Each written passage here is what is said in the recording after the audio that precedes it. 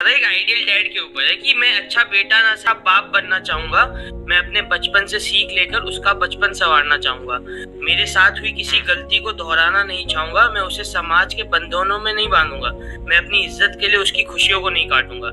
मैं उसकी इच्छाओं को अच्छे नंबर्स के साथ नहीं जोड़ूँगा। मैं उसकी आज़ादी को दूसरों की गलतियों पर नहीं बांधूँगा। इसका मतलब ये नहीं है कि मैं उसे बिगाड़ दूँगा। उसके हर गलती पर उसे डांटने से पहले सही गलत का मतलब ज़रूर समझाऊँगा। उससे सॉरी नहीं बुलवाऊँगा पर उसे सॉरी फील ज़रूर करवाऊँगा।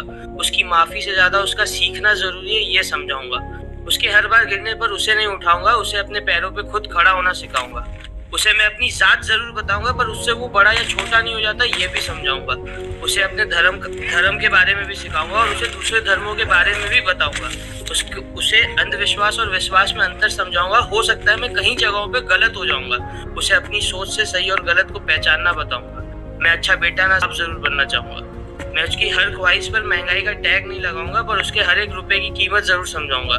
मैं उसे दूसरों की इज़्ज़त करना तो सिखाऊँगा, पर उसे सेल्फ रिस्पेक्ट की अहमियत भी बताऊँगा। मैं उसे खुद का अच्छा सोचना बुरा नहीं है, ये बताऊँगा, पर किसी का बुरा करके खुद का अच्छा सोचना बहुत बुरा है, ये भी समझाऊँगा। मैं अच्छा बेटा ना, सही अच्छा बाप ज़रूर बनना चाहूँगा।